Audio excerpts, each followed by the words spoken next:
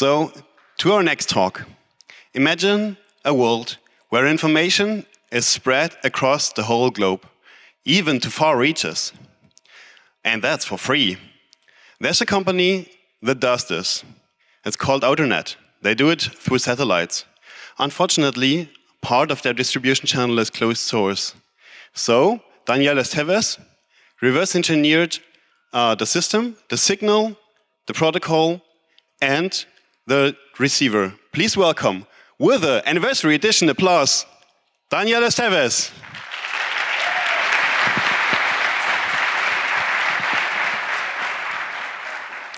Uh, is it working? Yeah.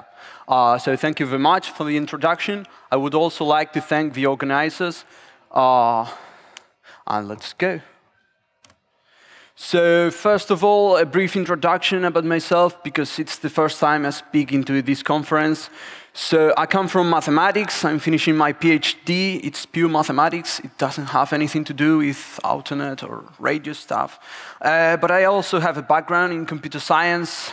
And uh, since 2.5 years ago, I took amateur radio as a hobby. And uh, that's my Spanish call sign for anyone into amateur radio. And I also have a UK call sign because I've been living in the UK for a while. So uh, this is related to the talk. In my amateur radio activities, I started to decode uh, some satellites which are orbiting in low Earth and they transmit into amateur frequencies. So uh, what's uh, the deal behind this? Uh, in amateur radio, encryption is forbidden. Uh, this is just mostly because a security measure, and uh, that's like uh, part of the community also, uh, because it's usual for amateur operators to just listen across the band and listening to whoever's speaking, having, well, not so private conversations, uh, but it's common to go and, and listen, listen, listen, and decode uh, whatever you want. So that's kind of the amateur radio philosophy. And uh, there are these small satellites, most of them are launched by universities or educational projects. They transmit some data, telemetry mostly. And uh, the thing is that, uh, well, these specifications for how to decode the telemetry, um, many times they, they release incomplete specifications. So you have to, to do some work in order to get a working decoder. So I have been doing this for like two years ago, and uh, that gave me some experience when I started working with Outernet. So enough of the introduction. Uh, let's first go with what is all about Outernet. Uh, essentially, you have a geostationary satellite, so it's fixed in one part of the sky as you look at it from Earth, and that's transmitting files from the internet. I think Wikipedia files or weather information or uh, miscellaneous information, small files, uh, because the bandwidth is not so much. Uh, so then you have this signal, and uh, well, you have this decoder from the Outernet, but these specifications are not open. So we want to construct a fully working decoder, and I'm going to explain how it works in two parts. First, we have our RF signal, and we're going to turn that into bits, or more precisely, frames. And then uh, what do we do with these frames? We want to turn those into files. And after that, some miscellanea. Okay, so what is Outernet? Uh, it's a startup company, and its goal is, well, there are many places in the world where it's not so easy to get internet access. And uh, even if you could have a downlink only access to some internet content, uh, that would be interesting. So picture yourself in the middle of Africa. It's impossible to get a proper internet connection. The best thing you can achieve is satellite, but that's very expensive. What if you could just uh, put a downlink only satellite receiver and start getting information from Wikipedia, news, weather content, and so on. So that's the goal of this company, which is called Outernet. And uh, they started broadcasting using uh, digital television satellites. So you could use uh, the same equipment that you would use in Europe, for instance, to receive uh, digital TV from geostationary satellites. Uh, indeed, you had a set-top box. And this works because in DVB-S or DVB-S2, usually you embed digital video, MPEG, or whatever, but you can embed all sorts of content. So they embedded uh, files into that. Uh, but the problem with this scheme is that uh, these satellites use spot beams, which cover only a region. For instance, you could have Astra satellite, and the beam only covers part of Europe. Uh, you have satellites broadcasting to the Middle East. But you, have, uh, you need uh, many, let's say 10 or 20 satellites like these with their beams covering all the world if you want to have worldwide access. Uh, so that was very difficult for them to achieve, if not impossible, and they switched it to L-band broadcast. So L-band is around 1.5 gigahertz, uh, the same as GPS, more or less, and they now broadcast exclusively uh, through L-band. And they do it uh, through three Inmarsat uh, satellites. This is a really large satellite company, which also broadcasts differential GPS information, uh, information for air traffic and so on. So they have these satellites in orbit. And it's just a matter of money to go to Inmarsat and say, well, I want a really small channel on your satellite to, to broadcast my data. So that's what they did. And they have three satellites. One covers the Americas, the other one covers Europe and Africa, and the other one covers Asia and the Pacific. Uh, so this is worldwide coverage except uh, near the poles, where, of course, uh, the geostationary satellites, which are on the equator, are almost all out of view, but almost worldwide coverage. What do you need to receive Outernet? Uh, let's first go with the hardware. You need an L-band antenna. So typically, you would use a patch antenna. This is like a square this big. You can also make it slightly smaller, but picture a flat square like this size and that works fine, but if you have a dish, like a satellite TV dish, uh, it's one meter uh, diameter or 60 centimeters diameter, you can use that. Uh, that will give you a much, much better signal. There are now people using a dish, and it's uh, absolutely fantastic. You need an LNA, that's a preamplifier. So unless uh, your radio receiver is just next to your antenna, uh, you need some sort of amplification into the signal, and usually you do it with a small piece of hardware, which is called LNA, and just fits between the antenna and the receiver. Uh, for the receiver, uh, you can use any SDR receiver you, you want, but the software from Outernet only supports uh, these really popular RTL SDR dongles. I think uh, many of you in the audience uh, have known about these uh, RTL SDR dongles. They're really popular and cheap.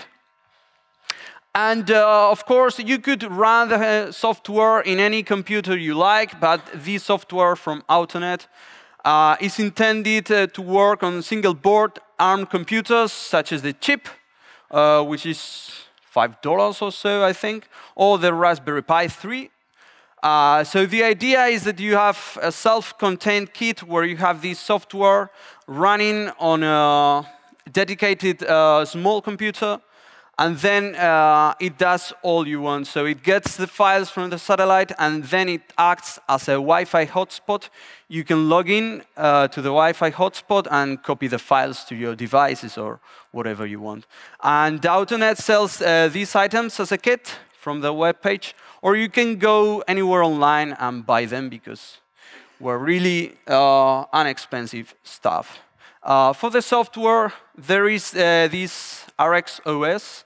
It's really a Linux image. image. You put it on your flash card on your ARM computer, and then it does all the decoding. And uh, as I said, you can log in uh, via Wi-Fi hotspot and get your files and whatever. So most of the software in RxOS is open source. The only problem is that the key parts of the receiver, the most important parts that you need to get the files, are closed source and distributed only as a binary. Actually, there is uh, kind of an issue because uh, this binary uh, links some GPL libraries, uh, the ones that had to do with the RTL SDR dongle. So these are GPL only, not LGPL. And uh, well, I'm not a lawyer, but I think it's a possible GPL violation to link uh, GPL libraries from closed source code. I told Outernet about this, they don't seem to care. So anyway. And uh, most important, the protocols, the modulation, and the format of the signal, so how everything works. It's secret, it's hidden behind this closed source receiver. So why did I decide to reverse engineer an Outernet? Well, first of all, that idea of spreading internet content just uh, via broadcast uh, from satellites is really nice, but I don't think that using a secret protocol and closed source software is a good idea for that. You should really use open standards or open information, whatever you want to call it. Also, some amateur radio operators had started playing with Outernet.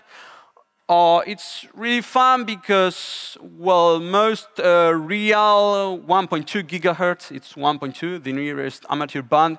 So most uh, 1.2 gigahertz equipment for amateur radio, it's expensive, it gets uh, some money to get into that.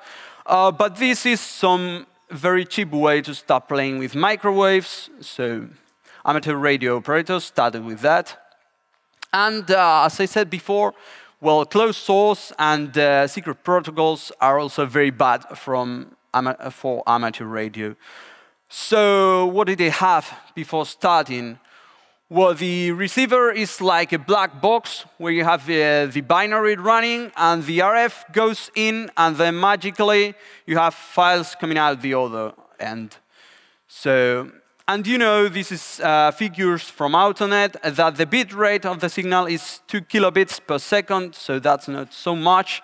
But if you have running uh, for the whole day and you're expected to leave it running like for many days, uh, you get 20 megabytes of content per day. Uh, I also had access to this uh, closed source software. It's uh, free to download, but it's closed source. And uh, I mostly looked at the AMD 64-bit uh, version of the software. It's an older version because now they've dropped support for uh, Intel machines, and uh, now everything is uh, only for ARM. So the closed source receiver has two parts. One is called SDR100. That's the SDR receiver, which talks to the RTL SDR dongle and uh, gets the bits from the RF. And then uh, those bits get sent into something called ONDD. That's a daemon which is running, and uh, that's all the work of reconstructing the files and uh, so on. And I also had access to some IQ recordings by my fellow amateur operator, Scott Chapman, Kilo 4 Kilo Delta Romeo. So in fact, I don't have myself a receiver for Outernet. I could set up one very easily, but in these days, it's much, much easier to go to some amateur operator who already has this equipment and tell it, well, can you give me an IQ recording? I want to play with it. And in a couple of days, I had my IQ recordings and I could start working. So let's see how uh, we get uh, from RF to bits. When I look at an RF signal, I do it with my favorite SDR receiver. Uh, this is Linrad. It's not very popular, but most of you have heard of SDR Sharp or whatever. So this is the waterfall. On the left-hand side, I don't know if I have, the, yes, the mouse cursor. This is the Outernet signal. Uh, this is, uh, these are stronger signals, which are, I'm not sure, either DGPS or uh, air traffic uh, somewhat. And here you can see some packet data. So this is the first you see, just uh, the waterfall. And in the waterfall, the only thing we can see, apart from signal strength, which is OK in this recording, is uh, that it's 4.8 kilohertz wide and there's no feature, there's no pattern in the waterfall. So it just looks like a hump in the noise floor. It's something which is 4.8 kilohertz wide and just above the noise floor. So I like this quote from Phil Karn very much. It says that if you use a good enough uh, modulation or protocol, then there are really no features in the spectrum or in the waterfall. So what do we do? Well, we have some experience and satellite communications most of the time. They use PSK modulation, single channel, no OFDM, that's for terrestrial. Uh, but we don't know uh, if it's BPSK, QPSK, it could also be QAM. Uh, but we suspect that either BPSK or QPSK are the most likely candidates. So we use GNU Radio for the signal processing. Anyone here familiar with GNU Radio? Well, that's good. Uh, yeah. So if you're into DSP or signal processing, it's really easy to get started with GNU Radio. If not, uh, you need to learn a bit, but you can start playing without knowing too much of the signal processing. There are lots of examples and things you can do, and uh, things you can run, sorry. So here I open my recording with GNU Radio. The first step is just to filter out the signal. So the filter signal is in red. And uh, not so much to talk about this. Uh, I also shifted to baseband. So I center my signal about a frequency of zero hertz. Here you can see it, zero kilohertz. So that's uh, use, uh, the usual procedure. In signal processing, you center your signal and you uh, filter. Now we want to find the PSK order. So there's a standard way to do this is you take your signal, this is my filter signal, it comes in here, and I multiply it by itself. So that's like raising the signal to the power 2, and uh, what happens when I look at the spectrum, I get a DC spike. So there's a strong frequency component next to zero. And this means that the signal is BPSK. If the signal would be QPSK, I wouldn't get a DC spike for the power 2. I would have to go to compute in the fourth power, so that's multiplying the signal with itself four times in order to get a DC spike in the middle. And you can uh, sort of go and do it for higher order. PSK, for instance, 8 PSK, it's also popular. Uh, so there's a fairly simple mathematical reason why this works, but I don't want to go too much into it. If anyone's, if anyone's interested, please ask me later. Uh, we also want to know the baud rate, so how many symbols per second. There's also a standard way to do this analysis. It's called cyclostationary analysis. And this involves the following computation, which is much better described in this uh, GNU radio flow graph. You take your signal and you multiply it with the conjugate of the delayed signal. It's not critical how many samples you're delaying your signal. One sample works okay in this case, perhaps 10 samples would work as well or even better, but you must delay it a little bit. And then you look at the frequency components. So you get a DC frequency component, but that's not what we're interested into. We're interested into the next strong frequency component, and that happens at 4.2 kilohertz. So that tells me that's the symbol rate. The symbol rate is uh, 4.2 kilobaud. All right. Now that I know that I have a BPSK signal and it's 4.2 kilobaud, I can do the BPSK demodulation. Uh, this is fairly standard. There's a really nice uh, GNU radio tutorial about how to do this. If anyone's starting uh, with GNU radio after doing uh, two or three very basic things, I recommend you should go and do this tutorial. So uh, again, really standard for BPSK demodulation. You have uh, an AGC just to maintain a constant signal level, uh, which makes signal processing work best. Then you have a clock recovery with the polyphase clock uh, recovery algorithm. And this is where our 4.2 kilobaud enters the picture. Here, samples per symbol works out to, well, I have so many samples per second in my recording. I don't recall how many. I have 4.2 kilo samples per uh, kilo symbols per second in my signal, so that's the quotient. And uh, then this recovers the clock and gets like the symbols. And then a Costas loop for prime frequency tuning. So the frequency is slightly out, and it's always going to be. Uh, this constellation diagram wouldn't be still, it would rotate like this, and you don't want that, so Costas loop uh, takes care of that. And uh, this is the constellation diagram for anyone which is not used to these diagrams. Each dot is one of the symbols we're receiving and they cluster around this point, which is, let's say, the bit 1, and uh, the point on the left, which is the bit 0. So if you have two clouds which are really well separated, then your signal is very good. You draw a line in here, in the middle, and everything which is on the left is read as a 0, everything on the right is a 1. Uh, so the problem is when these two clouds start to merge and you have some bit errors.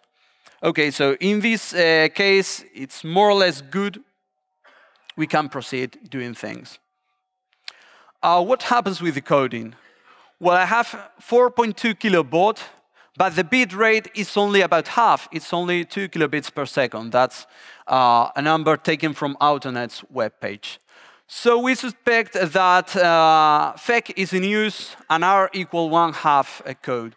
Uh, what does that mean? That means that half of the bits are spent for error decoding. If you get some bit errors, there's no problem. You're spending half of your bit stream in using a code which is able to uh, resolve those bit errors.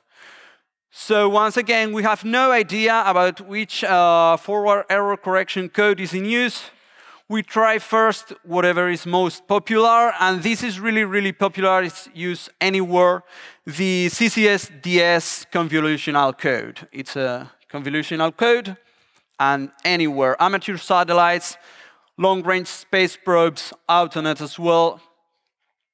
But there are some parameters, so this code has some variations. To find the proper parameters, there's a very nice tool from Balint It's called AutoFEC. Uh, you, you, just plug this block into your GNU radio flow graph, and it tries to use different parameters for the Viterbi decoder for FEC. And uh, it tries on different parameters until it finds the combination which makes the bit error rate go very, very low.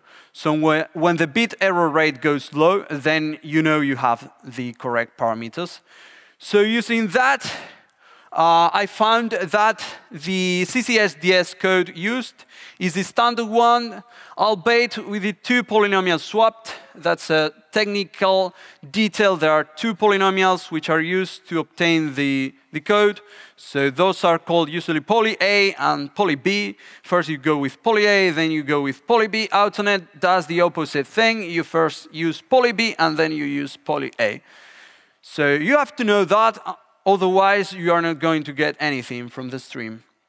Okay, so knowing that, you, you, we can use the stock GNU Radio Viterbi decoder, and it goes like this. First, we have to swap every pair of uh, symbols because of the poly A and poly B thing, which are swapped. Then this is the stock GNU Radio decoder, the, which spits bytes each, each of them has uh, eight valid uh, bits or symbols. So this just uh, takes each byte and outputs eight different bits uh, because we want to look at the bit stream to see if there's any pattern. And I have two uh, Viterbi decoders running in parallel.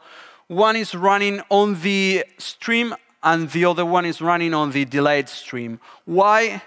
Because when you do Viterbi decoding, the symbols are going to be in pairs, so you want to process them in pairs. And you're looking at a symbol and you don't know whether its pair is a symbol coming just before it or just after it. So you just try something in one branch of processing and you try the other thing in the other branch of processing. And one of them is going to succeed and the other one would fail completely but you don't care. You know at some point in the chain okay? So I have two uh, decoders outputting the bit stream and well it just looked garbage. It's completely random. So that, uh, that means we needed a scrambler.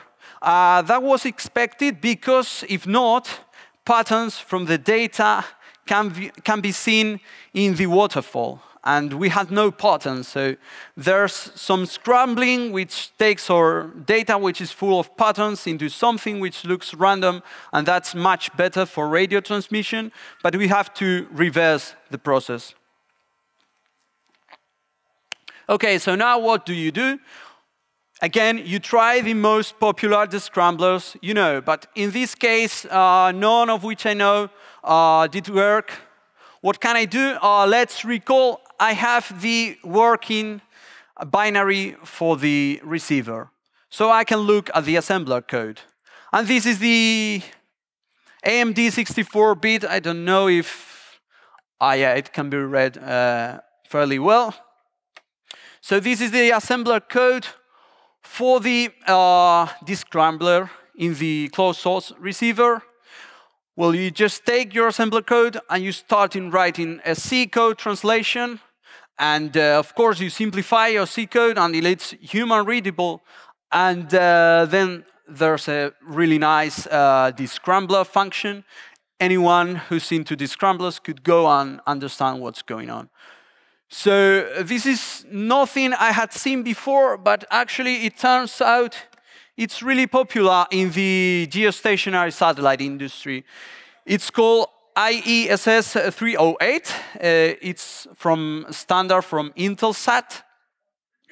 And actually, this standard it's not open. They only give it to our partners or business partners or whatever. Uh, this is from a datasheet of whatever component. I find these randomly on the internet, uh, but very nice description. So if anyone's into these scramblers, this piece in the middle with the shift register uh, just looks like a multiplicative descrambler, and that's what it is. But the new thing in this scrambler is this counter. So this is just like a multiplicative descrambler, but with a counter. And uh, once we have the code and how it works, we go implement it into a GNU radio block, plug it into the processing chain in there, and now we look at the data. And you can start uh, seeing some patterns. There are some, so this must be read from left to right and from top to bottom. So you have some uh, like some pieces of bits which are constant. You can see there, right? So this looks uh, fairly good. Okay, and the next step is framing. We have to know where frames start and where they end, and so on. So once again, uh, you could look at the bit stream and start looking to see if you figure out any patterns which might indicate start of frame or something else. But that's, in this case, it's much easier. So I was looking at the SDR100 binary. I can read the names of the functions in the assembler code. And uh, several of those have the name HDLC in them. So HDLC is a framing protocol. It's used in amateur radio, packet radio, and in many, many other things. So, well, we suspect HDLC framing. And uh, there are tools in GNU Radio to deframe HDLC. Uh, there's a stock deframer, but I prefer to use my own uh, gr-kiss uh, packet to deframe HDLC. So this is what we do. This is the output of, this, of the descrambler. We feed it into the HDLC deframer, and the nice thing about my own deframer is that you have this check FCS parameter. So HDLC uses a, a CRC, 16-bit, to check the integrity of the frames. Many times when you're doing these sort of things, you want to skip the check and get frames even if they have some bit errors. So if you put it to false, it's handy, it spits frames, whatever the CRC check might be. And uh, a slight thing in here, when, uh, sorry, when you're receiving BPSK, there's a phase ambiguity of 180 degrees. You don't know if you're looking at a 1 or a 0, so either you're looking at the good bit stream or the inverted bit stream. So you have to take and uh, again, you assume it's the good bit stream on one branch of the chain. You assume it's the inverted bit stream, so you invert it once more in the other branch, and only one branch is going to succeed at one time, but you don't care. So any one of these two will output frames at the end. And of course, recall that uh, we had two Viterbi decoder branches, so each of those has two uh, deframers, so we are running four deframers in parallel. And uh, with this, I start to get frames. So now what do we do with the frames? Well, the techniques, uh, just to look at the hex uh, dumps for the frames very carefully, and uh, something much clever you can do, you have the ONDD binary. It gets frames from SDR100 with a Unix socket. So you can feed frames into the Unix socket and see what happens. So you can figure stuff out that way. And uh, well, the protocols that are used in Outernet, uh, they are custom or they look that I haven't seen anything like those. So I have named them as I liked. And uh, this is a typical frame. Can anyone see any structure in here, please? No? Okay, this FFFFF thing at the very beginning is uh, so really caught my attention. This looks like a broadcast Ethernet address. This is a broadcast Ethernet address. It makes very much sense. This is a broadcast network. So in fact, this is a, an Ethernet frame. You have the broadcast destination, the source MAC of whatever PC is running on Outernet, Outernet's ground station and uh, the is custom. All the frames, or the largest frames, which are most of the frames, are 276 bytes.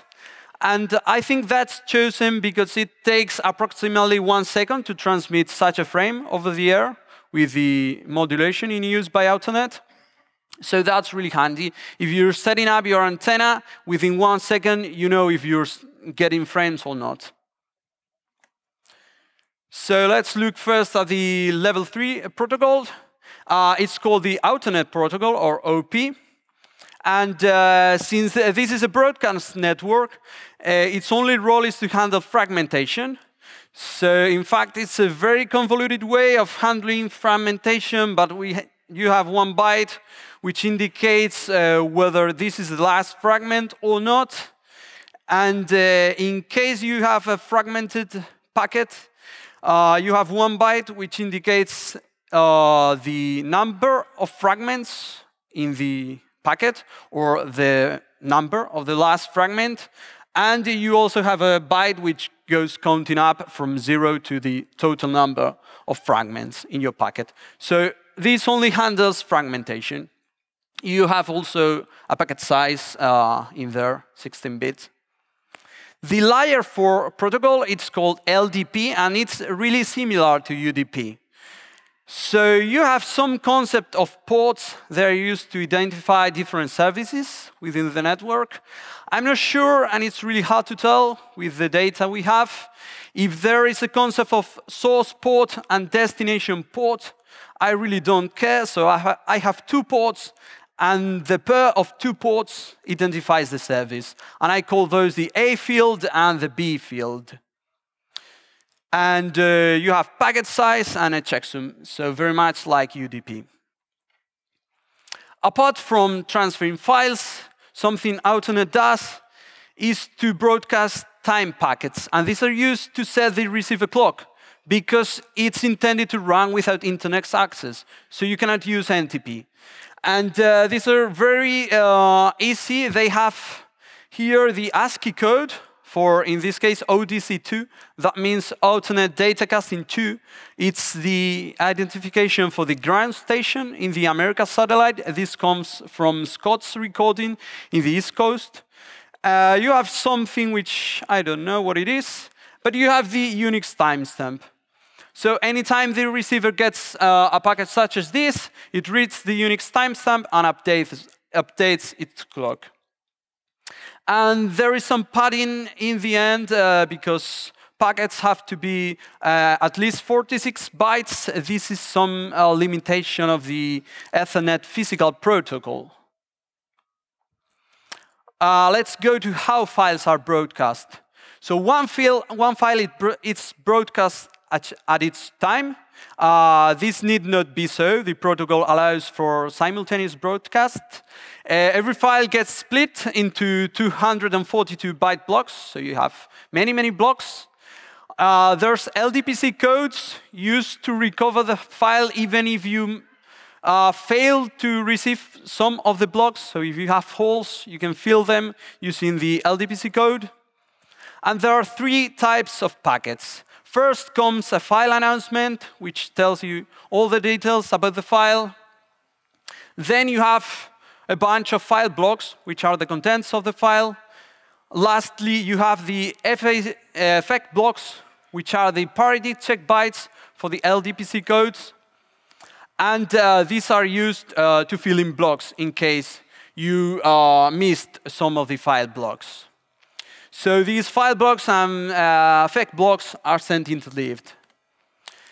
The file announcement packets contain an XML in ASCII uh, with information about the file, and they are signed with an X509 certificate. Why?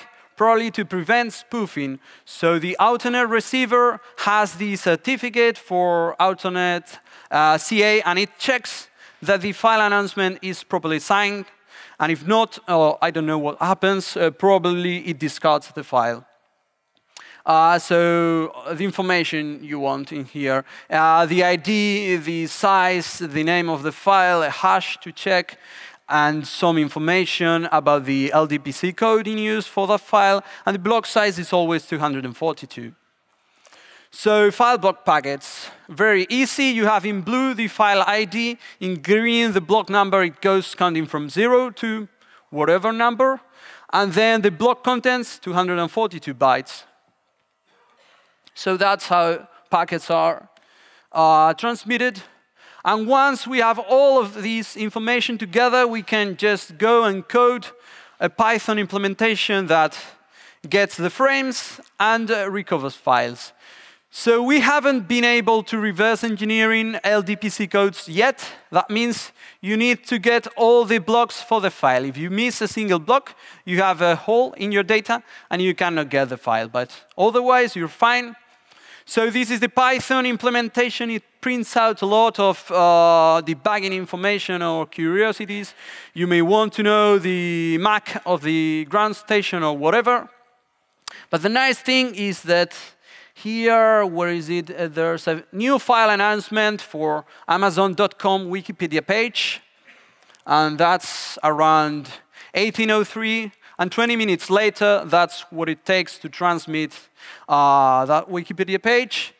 You get all your file blocks, and these uh, manage to recover the file and save it onto your hard drive. So what do we have now? Well, there's lots of documentation, everything I've talked about here, and uh, a little bit more in my blog. Uh, there's the GNU radio receiver.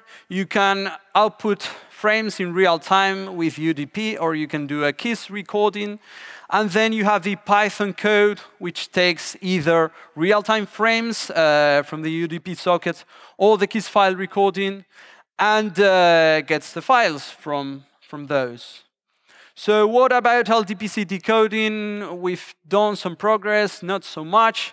Uh, there's uh, some track of the progress on GitHub. If anyone's interested, come talk with me. Uh, currently, I don't have much motivation to go into the binary code and reverse engineering, but uh, we might be able to do something. So some miscellaneous fun stuff. Well, the satellite modem. So the X509 certificates, uh, they use as CN uh, these addresses, odc2.outernet.is for USA, ODC3 is for Europe. So what's in there? You can ping that machine, it pings. You can go by HTTP, why not? And uh, now the HTTP port is blocked, so they've noticed. But before I, swear, I got the login page of the satellite modem they use on the ground station to upload the data to the satellite. So, huge security flaw. Of course, I, I didn't get past that. It was open probably for weeks, well, surely for weeks, perhaps even for more than a month. Huge security flaw. What I'm interested is what's uh, the model of the modem. It's an M7 modem and now you go Google it. And there's lots of documentation and some pictures for you modem fans. Uh, this is the datasheet from the modem. I've marked in yellow what is used in Outernet. Let's see if I can zoom in here. Yes. So, yeah, probably not very good idea to do it like this. Uh, so these are for the FEC, which they use beta modulation and so on. As you can see, only the most basic uh, uh, options of the modem are in use. They could have used uh, QAM, and there are very nice LDPC codes probably much harder to reverse engineer uh, and much better performance that they could have used instead of the really simple CCSDS or Viterbi code. What else? Well, you have the IPs for the ground stations. So you can geolocate them, use any online tool. Maybe you want to know where the ground stations are. So the Americas is in Toronto. The Europe Africa is in Amsterdam. I don't know if there's anyone from Amsterdam in this room. It would be, uh, yes. Yes, so it would be very, very nice if you can listen on the uplink signal. I don't know the frequency, but maybe you can search or maybe you can manage to do it. So listen on the uplink signal and see if you can just receive the uplink signal. The format is the same. The satellite is like a, a bent pipe transponder. Whatever goes up, goes down. So if you're in Amsterdam or anywhere near other ground stations, see if you can uh, receive the uplink. And uh, another thing you can do if you can receive the uplink is go and do some radio direction, direction finding. Maybe you can find the uh, ground station. Probably it has very, very large uh, satellite dishes. So the uh, actually Asia Pacific, it's in some small village in New Zealand. Uh, what else? Uh, finally, the data throughput. So 20 megabytes of content per day, that's what Outernet promises. Is this true? Well, let's run the numbers. So we have files which are sent in 242 blocks, uh, bytes uh, per block and they fit inside uh, Ethernet frames, which are 272 bytes each. So that's a 12% overhead for headers, as in Ethernet headers, uh, OP, and LDP headers. Then uh, most of the files use LDPC codes as well. The rate is around 0.83, so this is a 20% overhead on top of the 12% overhead. That works out to a total overhead of 30%. And uh, the bit rate is only 2.1 uh, kilobits per second. And that's at most, you would have to factor in the bit stuffing done by HDLC.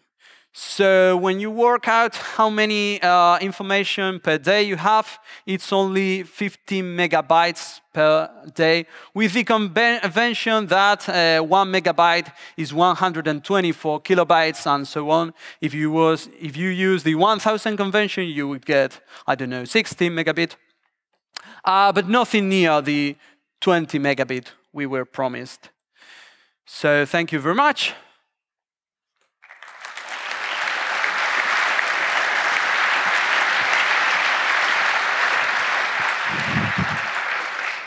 Thank you, Daniel. Um, do we have questions? For questions, please use the microphones provided over here, here, and here, and here. One to four. And we also have a signal angel. Do we have questions from the internet? Um, yes, we have. Um, actually, the um, scrambler um, is it basically uh, encryption, or is it for um, you know another RF purpose? Uh, you mean like this uh, whole reverse engineering work?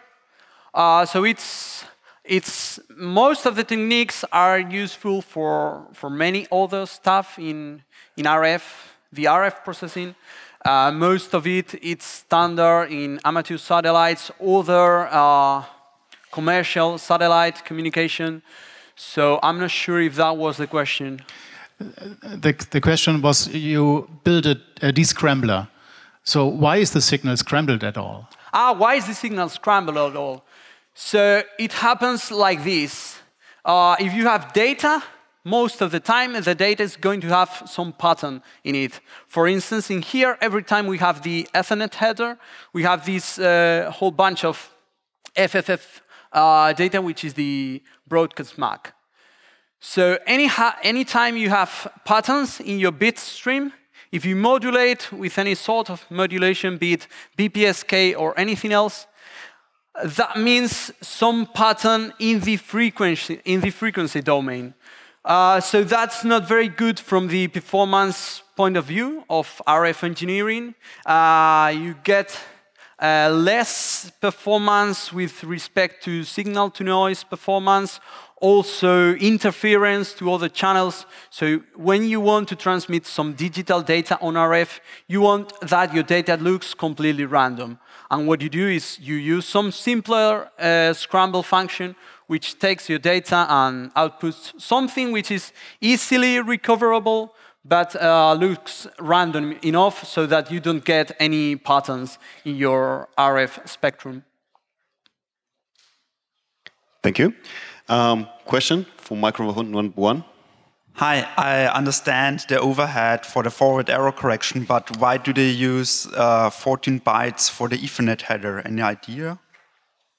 Uh, well, the thing is that if you go back to the documentation about the satellite modem, uh, where is it? Uh, probably here. Ah, yeah, here. So on the top, it supports like several different uh, input formats. So you're going to have a PC or PC-like machine, uh, which is running all the broadcast uh, software in the Outernet ground station, and then you plug that into the satellite modem.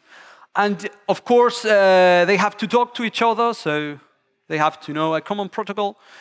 Uh, that should be simple enough for them to implement, and Ethernet is okay. It's very easy to wire it up via Ethernet. Why do the Ethernet headers go over the air? Uh, so this is intended in the commercial application, as far as I understand, uh, for you to have like an Ethernet, a real Ethernet network, but over satellite, where you can have uh, many different stations and it acts just like an Ethernet bridge. So that's why. Okay. Thank you. Microphone number two, please. Hi. Uh, did you see any uh, packets with destination which is not the broadcast destination, like unicast packets? Uh, I think I did. So I can I can go back to my recordings by Scott. And do you have dump, dumps of these messages somewhere stored? Uh, not in my head, but uh, yes, in my computer. So in my computer, I have all the files I've used. Uh, I think I saw something which was not broadcast, or at least which was not like this scheme where you have your custom method type and you fit your Outernet packet inside. So maybe ARP or something else which was probably not intended to be broadcast over there. So uh, yeah, I saw some of that. I'm not sure from the top of my head what it was. I can look it afterwards. Uh, so yes, they happen sometimes, unintended broadcasts. Thanks. And I think we have a question from the internet. Uh, thank you. Um, first, I have a comment. Um, the four bytes in front of the Unix timestamp. Um, is it possible that it, this might be a 64-bit timestamp? So that was not a question, just, just a comment from the internet. The question is, there is no user-based uplink. Um, so, so what is broadcasted? Who is deciding what is broadcasted? Okay, so the thing goes more or less like this. I'm not really sure, but at least this is what they say. And in fact, there are some people which are interested in monitoring what is being broadcast because there's not like a public list of what goes out and when it goes out. So the idea is that most of the content uh, regarding bandwidth is Wikipedia files. And uh, this is from the most popular Wikipedia files. So this seems somewhat random, but Wikipedia files. They also broadcast some uh, weather information, which is most usually for sailors sailing on the high seas. Uh, some small files for amateur radio, APRS. Anyone heard of APRS? So some APRS, whatever goes with the outernet tag in it, it goes sent back.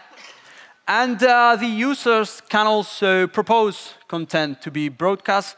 So files at most 10 kilobytes each, and they get uh, screened before and moderated to prevent uh, whatever malicious or whatever. So they moderate, and uh, the process of moderation and so on is not open. So that's a very interesting question: what gets sent and why? Thank you.